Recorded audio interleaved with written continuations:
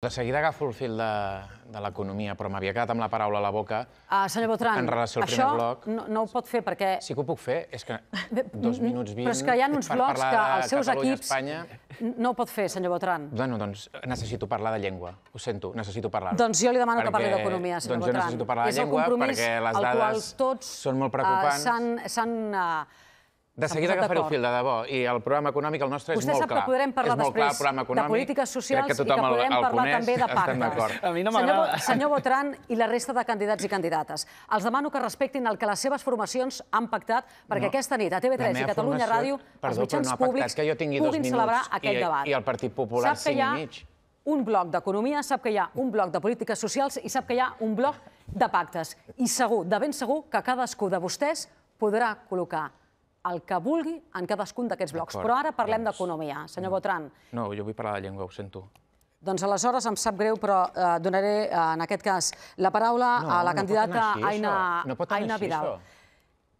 Jo modero el debat Perdó, i li demano, pot- sisplau, que parlem d'economia. Si vol, seguirem que- perdent temps i vostè anirà sumant bloc segons. jo hagi tingut menys temps que ningú i ara, que m'agradaria parlar de llengua, que crec que és un tema que preocupa perquè les dades són Saben tots preocupants, els candidats i perquè PP i candidates- Vox han arribat al poder al País Saben els Valencià candidats i la- candidates perquè ho han fet, poden intervenir lliurement sempre que ho facin amb respecte. I jo controlo els temps. I de ben segur que trobarà el moment per parlar del que ara vostè volia. Li dono l'oportunitat de, el plantejament que feia, eh, de com millorar la situació econòmica que afecta, i amb les dades del CEO es recull, amb aquesta percepció de dolenta o molt dolenta, la situació econòmica de les llars catalanes, el 52%. Senyor Botran. Nosaltres estem preocupats per la llengua mm, i per l'economia moltíssim. I tindré molt de temps per parlar d'economia també. Però és que el País Valencià i a les Illes han guanyat Vox i el Partit Popular. Senyor Botran, I estan em sap greu, revistes. però d'aquesta qüestió en parlarem després. Té la paraula la Després? senyora Aina Vidal.